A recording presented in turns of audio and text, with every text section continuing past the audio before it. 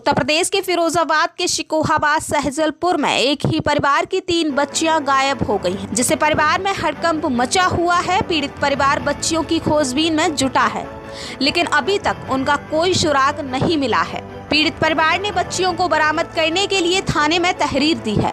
Police ने मुकदमा दर्ज कर लिया है, जाँच की बात कर रही है। प्रदेश के टॉप टेन कोतवाली में रहा। शिकोहाबाद कोतवाली में कोतवाल की तैनाती नहीं की गई।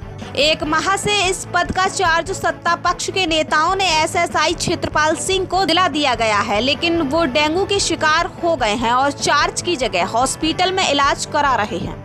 रविवार को विनोद कुमार निवासी सहजलपुर अपनी पत्नी के साथ मजदूरी करने के लिए गए थे। घर में मोहिनी 12 साल, सालिनी 8 साल गंगोत्री पाँच साल घर पर ही थी। जब दंपति देर शाम घर लौटे तो तीनों बेटियाँ घर पर न पाकर परेशान हो गए। उन्होंने मोहल्ला पड़ोस में भी उन्हें तलाश किया, लेकिन कोई सुराग नहीं लगा।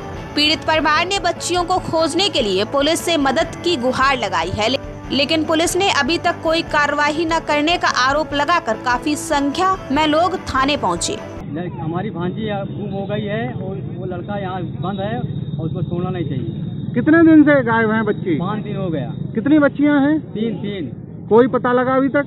कोई पता नहीं है। ये लोग भागे हुए हैं सब। आई कोई पकड़ा है पुलिस हाँ ने? एक पकड़ा है अभी उसको संदीप नाम है।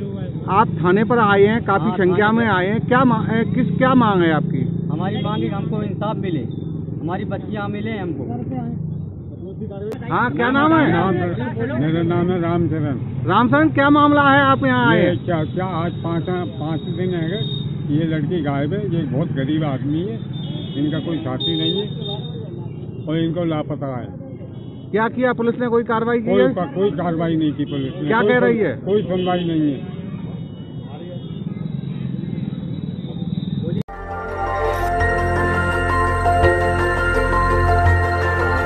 देखते रहिए डीबी भारती समाचार नज़र हर खबर पर।